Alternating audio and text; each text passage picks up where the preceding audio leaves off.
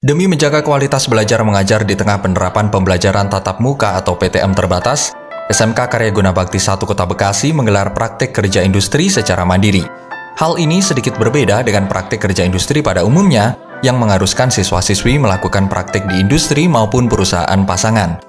Praktik kerja industri mandiri justru mengundang perwakilan pihak industri untuk datang ke sekolah untuk berbagi kiat dan langkah kerja sesuai yang diterapkan di dunia kerja. Sementara itu dalam prakerin Mandiri jurusan multimedia pada Rabu 6 Oktober 2021, SMK Karya Guna Bakti 1 Kota Bekasi mengundang PT Family Media Global Tama atau FAMS Media Group dari Kabupaten Purwakarta. Dalam praktik kerja industri mandiri ini, tidak diikuti seluruh siswa jurusan multimedia, melainkan hanya beberapa perwakilan saja untuk mematuhi aturan protokol kesehatan yang berlaku saat ini.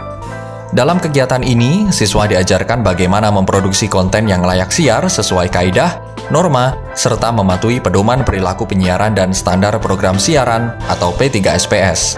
Konten siar tersebut meliputi iklan layanan masyarakat, program berita, dan podcast.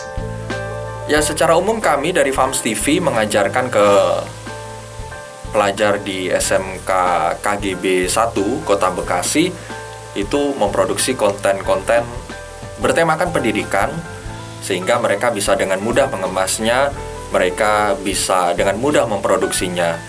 Dengan harapan mereka bisa jadi semacam pelopor untuk memproduksi konten-konten yang edukatif agar sekolah-sekolah lain itu juga ikut terpacu untuk membuat konten yang sama. Nah, harapannya dengan banyaknya konten yang edukatif, konten-konten di sosial media, konten-konten di dunia digital yang mengglorifikasi gaya hidup yang hedon, konsumtif, terus budaya-budaya luar itu bisa direduksi.